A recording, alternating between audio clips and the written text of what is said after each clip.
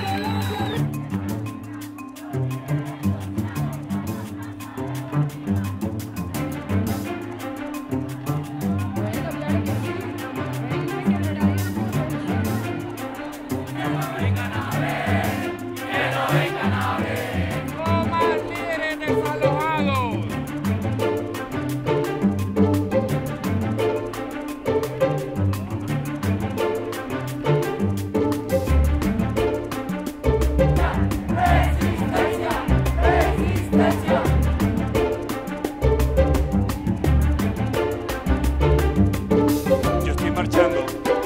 no marchamos, este país no tendrá futuro.